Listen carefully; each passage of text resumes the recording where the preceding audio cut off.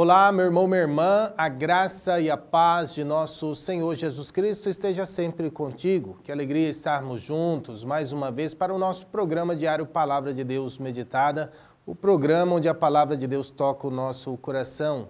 Hoje nós temos a alegria de ter conosco a nossa irmã Claudete, que vai partilhar a palavra para nós.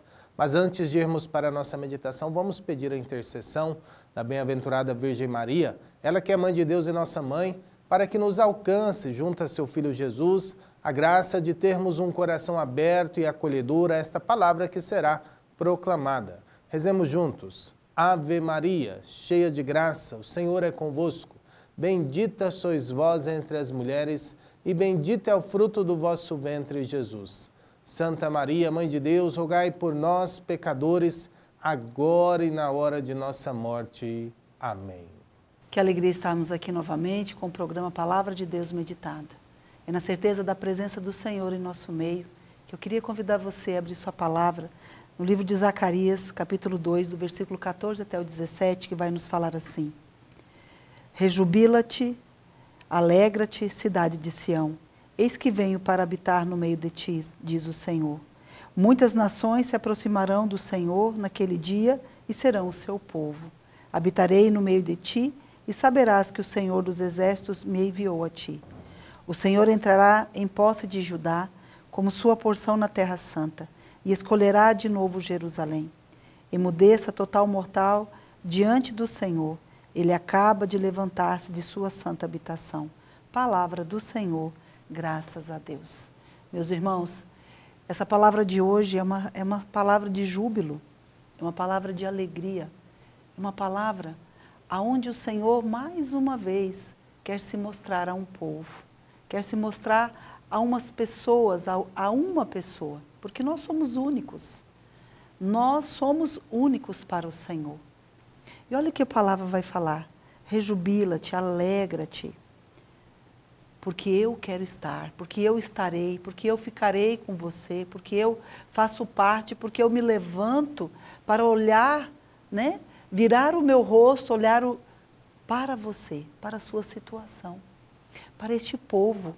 Ele vai falar né, do povo dele, que ele vai habitar em Sião, que ele vai voltar. E essa palavra hoje, ela pode, digamos assim, adentrar ao nosso coração de que maneira? Né? Às vezes a gente olha para a nossa vida, a gente vê as situações que nós estamos e a gente acha que Deus está muito distante, e a gente muitas vezes fica até cabisbaixo, triste, porque a gente acha que Deus esqueceu de mim.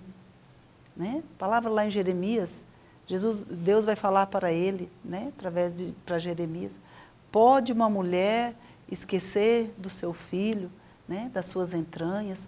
Pode uma mulher esquecer de amamentar o seu filho? Mesmo que ela o esquecesse, eu jamais esquecerei. Olha a declaração de amor que Deus faz mais uma vez a nós.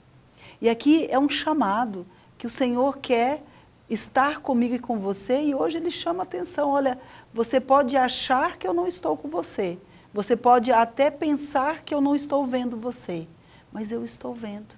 Eu jamais esqueço de você. Muitas vezes nós esquecemos de Deus. Muitas vezes nós nos voltamos contra Deus, muitas vezes nós viramos as costas para Deus, muitas vezes nós deixamos Deus de lado e damos prioridade às coisas deste mundo. Mas Deus, Ele é aquele que sempre está a nos esperar.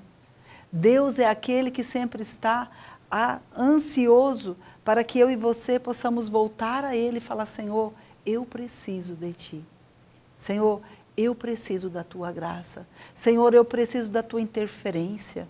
Senhor, eu preciso da tua providência. Senhor, eu preciso de uma cura, de um milagre.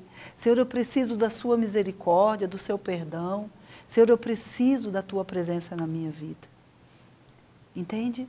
Nós muitas vezes nos separamos da graça de Deus, não porque Deus quer separar de nós, mas que nós com a nossa vida, com o nosso jeito, com tudo aquilo que a gente vive, nós esquecemos do Senhor e damos prioridade às coisas deste mundo e esquecemos como é bom estar sob a graça do Senhor.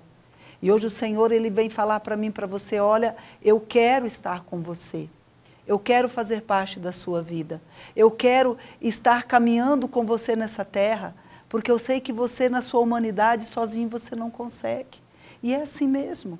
Nós não conseguimos, na nossa humanidade, sozinhos, sem a presença de Deus Pai, sem a presença de Jesus Cristo e principalmente sem a presença do Espírito Santo, no tempo onde Jesus deixa o Espírito Santo para andar conosco nessa terra, é aquele que é o nosso advogado, é aquele que anda ao nosso redor, é aquele que nos dá força, é aquele que nos dá coragem, é aquele que nos levanta, é aquele que pega pela mão e fala: Vem comigo todos os dias, porque eu estou com você, você não está só.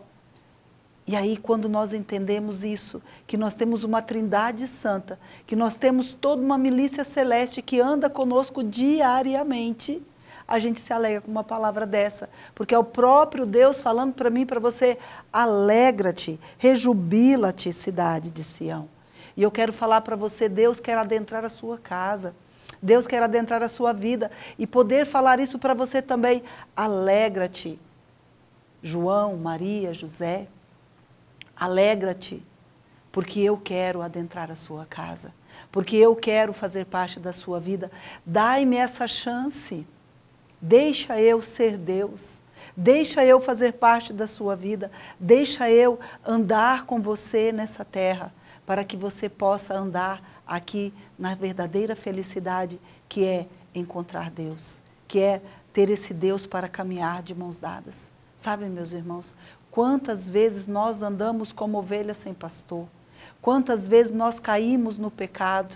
Quantas vezes nós nos distanciamos do Senhor? Quantas vezes nós não temos a alegria verdadeira na nossa vida? Porque todo aquele que busca o Senhor pode realmente acontecer muitas coisas ruins. Pode sim acontecer muitas dificuldades. Pode sim passarmos por dias onde nós não podemos enxergar, digamos assim, no fim, fim do túnel uma luz. Mas aquele que se volta ao Senhor e pede socorro, essa pessoa será feliz mesmo na tribulação. Essa pessoa é feliz mesmo na luta. Essa pessoa encontra a felicidade e a paz que vem do Senhor, mesmo nos momentos mais difíceis da sua vida. Hoje o Senhor está querendo dizer para mim, para você, deixa eu alegrar a sua vida. Deixa eu fazer com que você seja uma nova criatura. Deixa eu fazer parte da sua casa. Deixa eu adentrar a sua família. Essa é a alegria do Senhor. É o Deus que nos criou a, imagem e semelhança para que pudesse andar com um povo. E quando Jesus ele vem aqui na terra para nos salvar, e quando Jesus vai aos céus e deixa o Espírito Santo para estar conosco, ele sabe que nós precisamos de Deus. Nós precisamos da presença de Deus. Nós precisamos do amor de Deus.